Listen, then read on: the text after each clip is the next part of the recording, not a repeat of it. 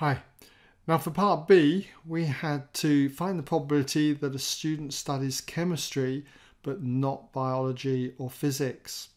In other words, they study chemistry only. So I'm just going to write that as chemistry only. And this is a very quick answer, so I'll give you the answer in just a few moments. For C only, that's this 13 here, okay? It's not in the biology or physics section, so it's going to be 13 students out of 80.